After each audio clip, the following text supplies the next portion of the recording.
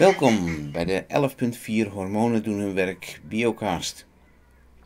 Er zijn verschillende soorten hormonen, zoals hier de steroïdhormonen.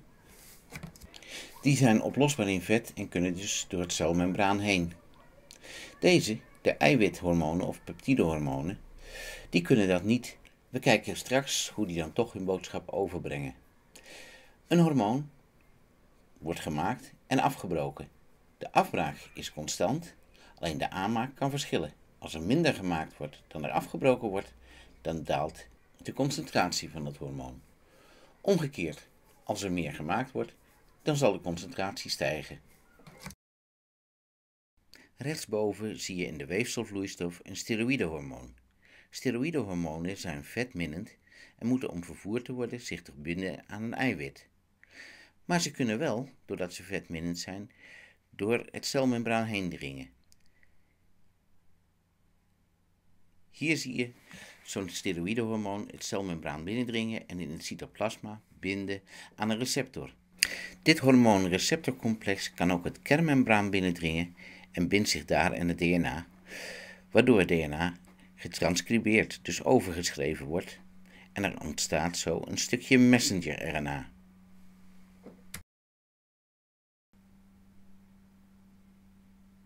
Dat messenger-RNA komt in het cytoplasma, waardoor het door middel van een ribosoom wordt vertaald in een eiwit, het paarse vormpje dat net ontstaan is.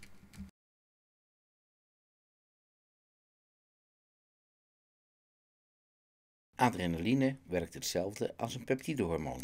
Een peptidehormoon is wateroplosbaar, dus kan makkelijk met het bloed vervoerd worden.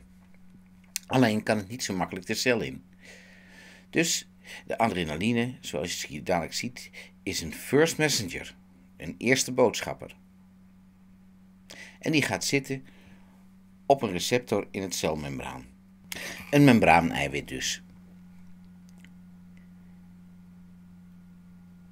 Als die dat doet, dan wordt er een eiwit gestimuleerd dat op zijn beurt een ander membraaneiwit, adenylcyclase, activeert.